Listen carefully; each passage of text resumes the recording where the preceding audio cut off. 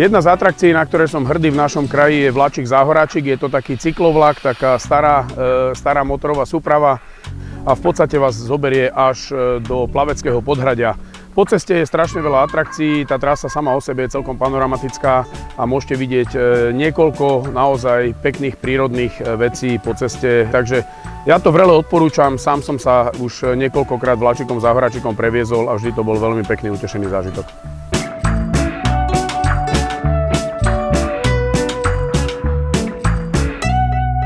Letný vlak Záhoračík premáva každý víkend aj sviatky, trikrát denne a premáva z Bratislavskej hlavnej stanice až do Plaveckého podradia. Cesta vlakom je ako stvorená pre rodiny s deťmi, milovníkov železnice, aj pre nadšencov turistiky a prírody.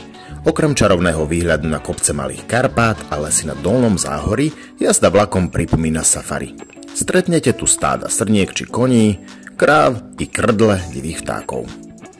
Sme sa rozhodli teda, že ideme do Plaveckého podradia a z Plaveckého podradia ideme bicyklom e, naspäť do Vysokej pri Morave.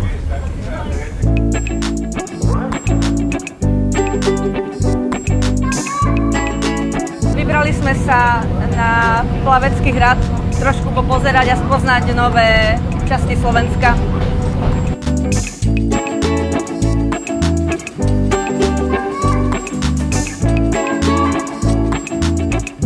Zaujímavosťou tejto trate je, že po trati Zoho Rohožník premávajú iba e, vlaky nákladnej dopravy a zo stanice Rohožník po Plavecké podrade nepremávajú už ani nákladné vlaky.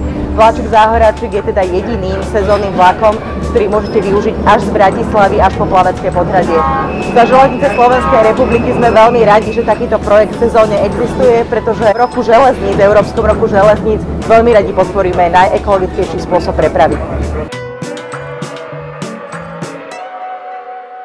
A ak hľadáte nejaké tipy na cyklovýlety, prípadne mapy, nájdete ich na internetovej stránke www.bratislavskykraj.sk.